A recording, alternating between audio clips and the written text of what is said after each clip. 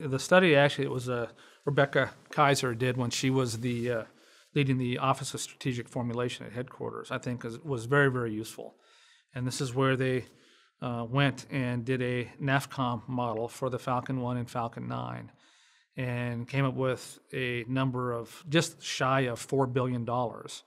Uh, when we knew from a number of other sources that SpaceX had spent under 400 million, and uh, I mean that's that report is uh, I think online, but I think it's very instructive. How could we be that far off uh, over a factor of 10? And and by the way, everyone finds that just unbelievable. I found that unbelievable when I first heard it, but the, the facts are there.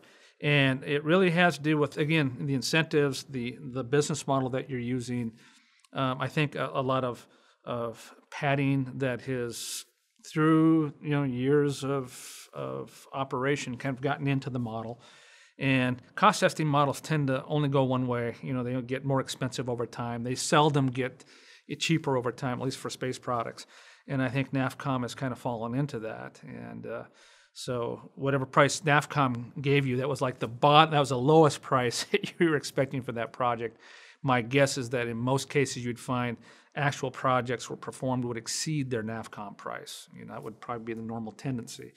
And uh, so having, it, I think that study was was very useful to see. Okay, there are ways to do this much cheaper, but under the right circumstances. Again, you have to have the right environment where you have essentially a, a commercial entity that has enough capability and of a startup type mentality that would, they're willing to to take this on. And uh, so um, not everything would, would lend itself to you know to uh, what SpaceX has done, but I think there are a number of things that could, and I guess the the thought that uh, a number of us have had, including Rebecca, is that well, if you can identify those projects, okay, and if you can manage to get you know significant cost reduction in certain areas, well, that in theory would free up money to do other things that you want to do. So it would allow you to advance your portfolio of projects rather than you know having to really you know starve you know the, the, the things you are currently running because the resources are, are, are too small compared to the,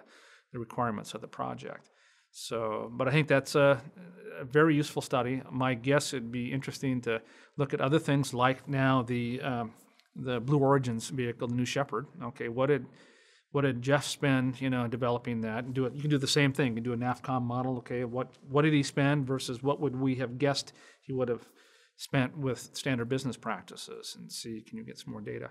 We did have one other case I should mention that was run. Um, this is back in 2009, uh, where we were looking at SpaceHab. Uh, SpaceHab also uh, came in and did more of a you know entrepreneurial approach for putting in place the uh, SpaceHab logistics module that flew on the shuttle.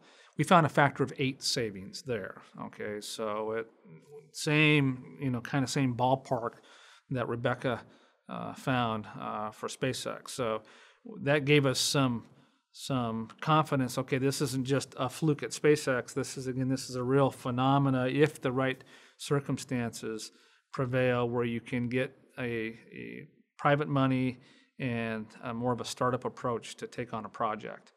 Um, but it would be interesting again. Blue Origin would be a good example now.